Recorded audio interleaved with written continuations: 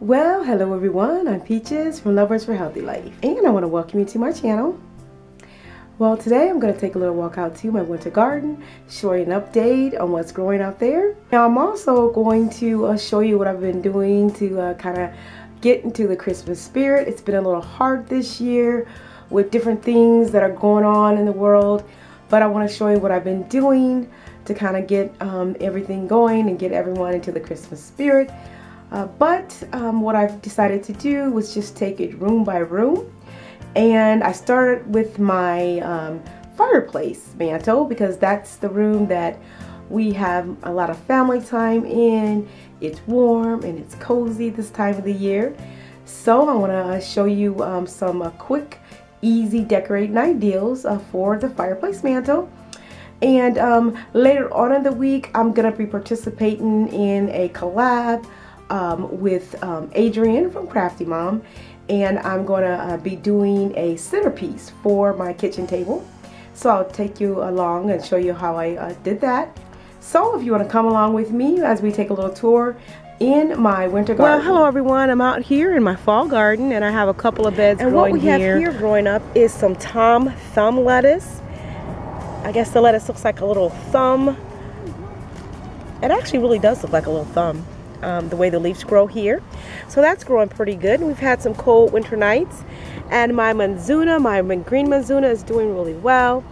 Um, I already harvested some of this so it just uh, keeps giving here in the fall. I didn't know it was actually a fall crop but it's doing pretty good. And then my red lettuce is just now starting to come up. You can see the tiny little baby leaves there. My butter crunch lettuce is doing pretty good and we've had some temperatures drop below uh, 35 degrees I do believe. And in this uh, circular bed I have arugula that I planted over the summer and it's still doing pretty good. And then I threw in some Swiss chard and I threw the seeds in pretty late but I am happy to see some of them are starting to germinate the tiny little seeds. You see that right there? And in this uh, circular raised bed is my Chinese red mustard and it's doing really well. The leaves are really big. You see the size of my hand compared to the leaves. So I'm so happy that my uh, Chinese red mustard is doing really good and looks like the dinosaur kale that is planted in between the rows is starting to do pretty good as well. And I also planted some right there in the middle hopefully that'll do really well for me throughout uh, the, the winter and through uh, the uh, summer months and well. I really love growing my greens this time of the year because you have less infestation of the little critters, less moths, less bugs, so I'm just happy about that. And this Chinese red mustard actually has a really good flavor.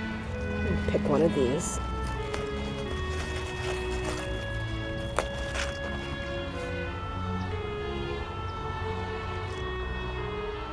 Pretty clean. It's organic, so I'm going to try one of these here. So the Chinese red mustard has a little bit of a milder flavor than the regular uh, green mustard. And over here I have my elephant garlic that's starting to come up. So I'm really happy to see the little green uh, shoots uh, sticking up there. Because I thought I had plant planted it a little late, but looks like it's going to be doing really well for me. So I'm happy about that and I covered them up with um, pine.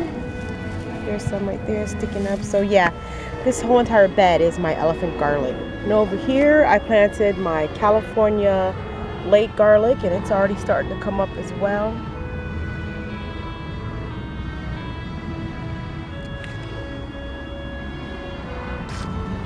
And in this bed I just threw in some late seeds I threw in turnip seeds and some curly My holiday decoration started with doing my mantle because this is one of my favorite places to come in my house is to sit right by the fireplace during the winter months.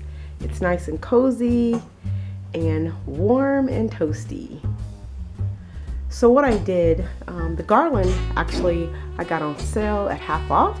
These glass vases basically were just plain and I just added the little gold and red Christmas decor balls. And then I used hot glue to make the topper right there at the top. And I just glued it to the vase. And this vase right here in the middle, I just added the Christmas ornaments to the container and then topped it off with a flower